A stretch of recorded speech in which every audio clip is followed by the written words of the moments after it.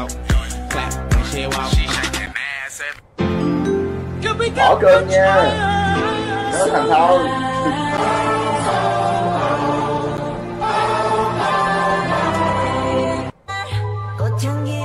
Là sao nữa?